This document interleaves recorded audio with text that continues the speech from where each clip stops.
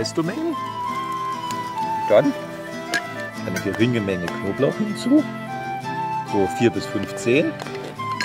Die ein oder andere Weichkorn drüber.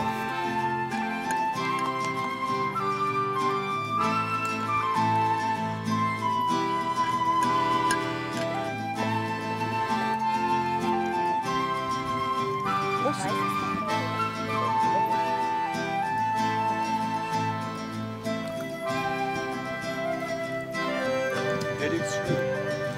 sieht hier die einzelnen Knoblauchscheiben.